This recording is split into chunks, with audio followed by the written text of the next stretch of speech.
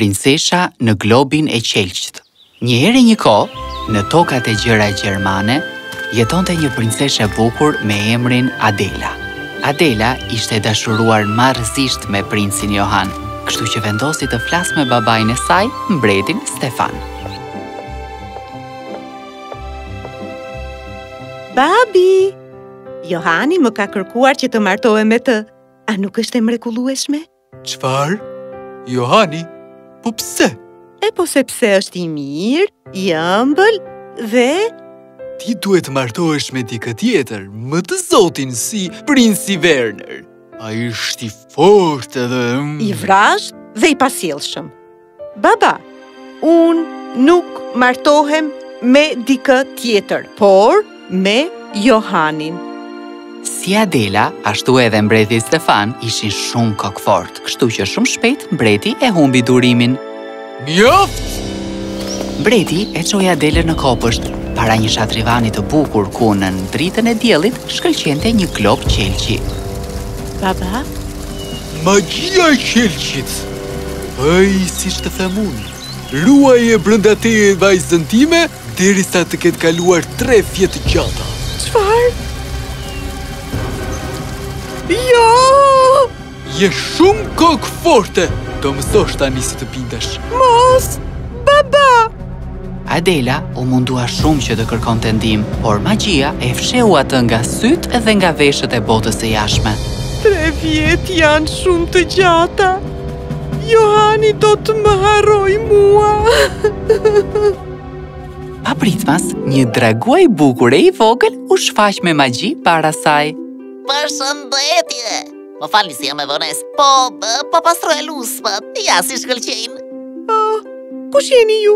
Unë quhem Shnell, roja e këtij topi qelqi, po ti kush je? Unë jam princesha Adela, babai më mbylli këtu sepse dëshiroja të martohesha me dashurinë time. O, bo, bo, po pse? Sepse, unë nuk pranova të martohesha me atë që më zgjodhi ai. Oh, Dhe tani unë gjendem e mbyllur këtu.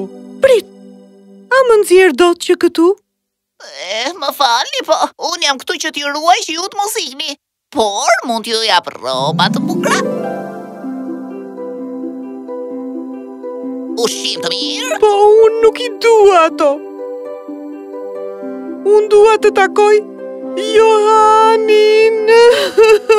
Oh, tani Adela, më dëgjo. A e di ti sa kohë kam unë këtu? 50 vjet! Edhe jam shumë mirë. Jeni mirë? Po.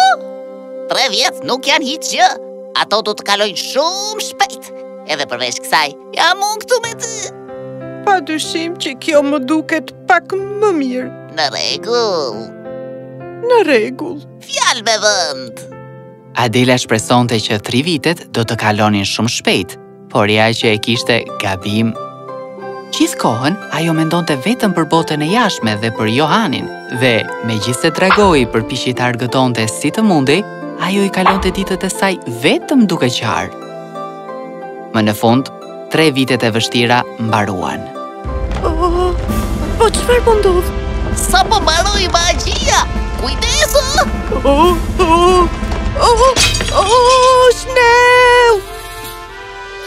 Të kapa! Oh, faleminderit, por më duket nuk jam kthyer normale. Po mbase janë ende efektet e magjisë. Ikim! Pallati im. Ah, sikur babai ta mësojë që unë jam e lirë. Oh, mos! Bahu, princeshë!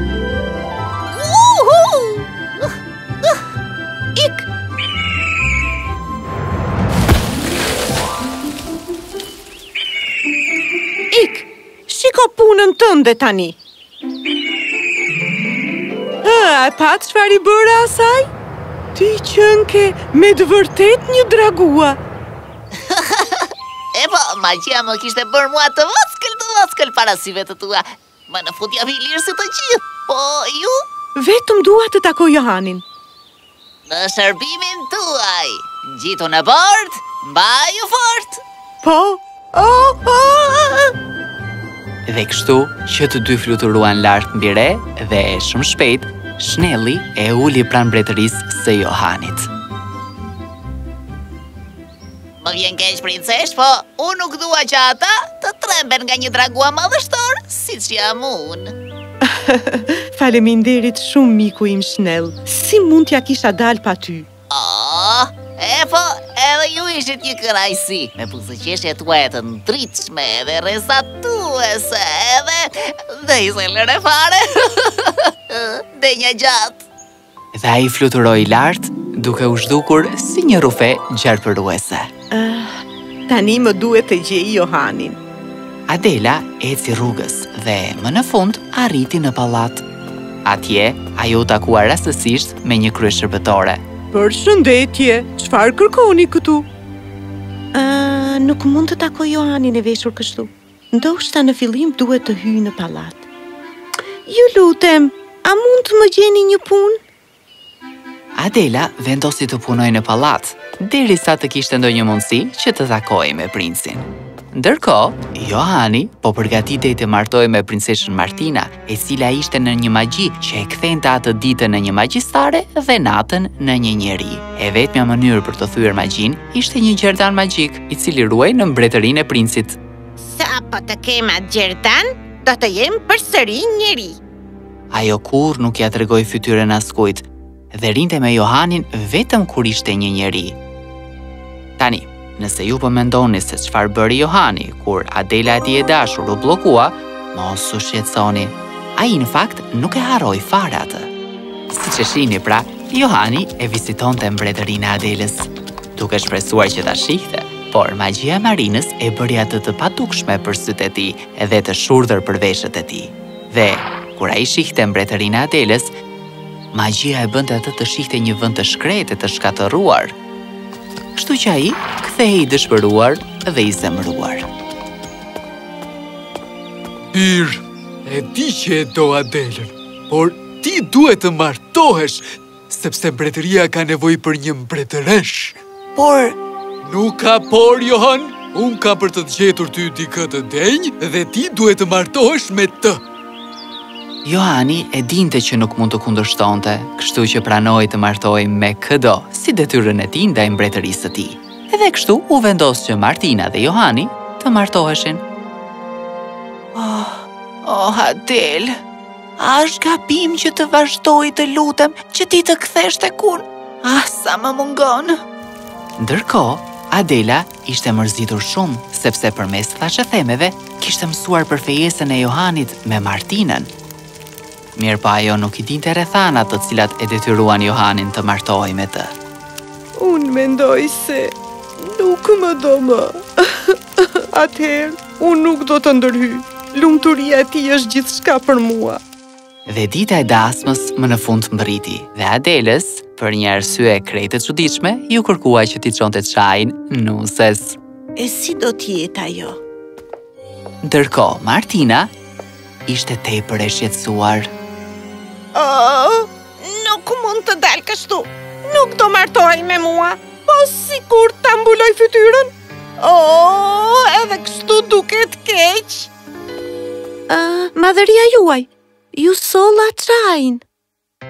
Martina ishte gati të bërtiste kur, papritmas, i erdhi një ide. S'më intereson martesa, mua më duhet vetëm gjerdani. Pas ceremonisë, Johani do të ma dhurojë vetë atë. Hyni! Adela hyri në dhomë, mirëpo Martina i kishte kthyer kurrizin, kështu që ajo nuk ia pa fytyrën. Unë kam nevojë për ndihmën tënde, dhe ti nuk do të më thuash jo. Kam nevojë që të bëheni si nuse në vendin tim, por gjatë gjithë kohës duhet ta mbani fytyrën të mbuluar. Çfarë? Por, por, por si mund ta bëj? Si mbretëresha juaj e ardhshme, bindjuni urdhrave të mia. Po, po, po, madhëria juaj. Kështu që Adela, e veshur si nuse dhe e mbuluar, shkoi të takojë Johanin. Zemra e Adelës filloi të rrihte shpejt kur ajo e pa. Oh, Johan! Ha? Zëri yt po më tingëllon ndryshe. Si zëri i dashurisë. Çfarë? Më falni, ende nuk e kam harruar. Kjo martesë është një kompromis. Po t'i them të gjitha këto përpara se të betohemi. Në rast se nuk doni të martoheni me mua, tani që i thashë të gjitha, është më mirë për mua. Ai ende më do. Por si mund t'ia them mes gjithë këtyre njerëzve që po na shohin? Adelës i erdhi një ide e shkëlqyer. Oh, këmbana të dashura, ju bini për mua, por nuk jam nusja e vërtetë. Oh, lule të dashura, ju lulëzoni për mua, por nuk jam nusja e vërtetë. Çfarë po thoni? Fjalët e poezisë Më premto se do të më kërkosh të t'i përsëris kur të jemi vetëm. Johani ishte konfuz, por pranoi. Dhe pikërisht atëhere, ai vuri rreth qafës së Adelës një gjerdan të mrekullueshëm.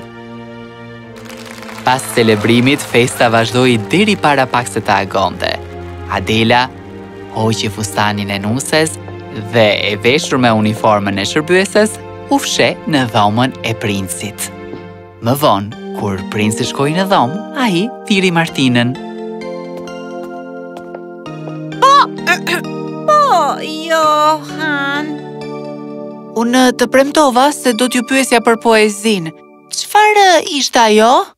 Martina u habit, sepse as që e kishte idenë fare se për çfarë po fliste. Epo, unë, unë, unë vërtet nuk e mbaj mend. Dije se ishte një diçka e parëndësishme. Johani shtangu. Ndërsa ajo po fliste, ai e kuptoi që zëri i saj nuk ishte i njëjtë me atë të nuses. Zëri juaj po më duket ndryshe. Edhe ku e keni gjerdanin që ju dhashë? Çfarë? Ju ma dhatë gjerdanin mua? Kështu? Ajo vajzë ma vodhi gjerdanin. Unë nuk kam vjedhur asgjë. Johani dhe Martina mbetën të çuditur.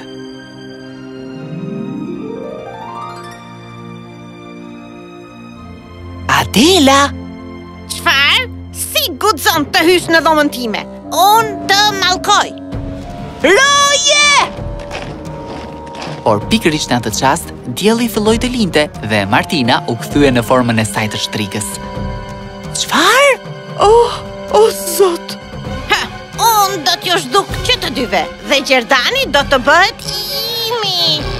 Por gjerdani, rreth qafës së Adelës, shkëlqeu si një mijë diej të ndritshëm duke e kthyer magjinë e keqe drejt Martinës.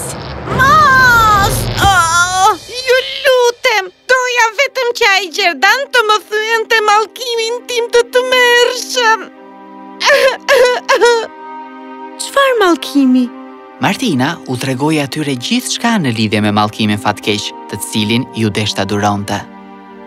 Pra, ky gjerdan mund të ta thyejë magjinë? Po! A, a, mund të ma japësh mua?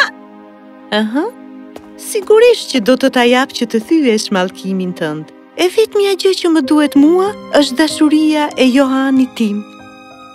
Sapo Martina e vuri gjerdanin, magjia u thye dhe ajo u kthye në formën e saj njerëzore. Jam njeri! Oh, oh sa mirë faleminderit! Adela, mendova se ti më kishe lënë përgjithmonë, Po nga ke qenë? Adela i tregoi atij se si i ati e kishte mbyllur për tre vjet rresht vetëm e vetëm që t'i ndante. Por të mos flasim për këtë. Më në fund jemi bashkë dhe gjithashtu jam dhe gruaja juaj. Por Unë e pashë mbretërinë tënde të shkatërruar plotësisht! Më fal, Johan, kur ju takova ju, ju ishit ende i dashuruar me Adelën. Ju vizitonit vetëm mbretërinë e saj. Atëherë u përpoqa të gjeja Adelën dhe t'i bëja një magji, por nuk e gjeta asgjëkundi. Atëherë për t'ju ndaluar që të vizitonit mbretërinë, u bëra syve tuaj një magji. Në çastin që patë që mbretëria e saj ishte shkatërruar, Menduat se ajo u zhduk, por meqenëse mallkimi im u hoq, unë në këtë çast do të heq mallkimin tënd. Dhe kështu, Adela dhe Johani jetuan të lumtur së bashku. Mbreti Stefan e kuptoi gabimin e tij dhe u zotua se kurrë nuk do të merrte vendime nisur nga kokëfortësia. Adela nuk ka nevojë më për gjerdanin.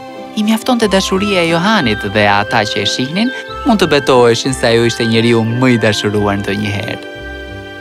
Ah, sa bukur e rrëfyet! Keni zë shumë të bukur! Faleminderit, Schnell!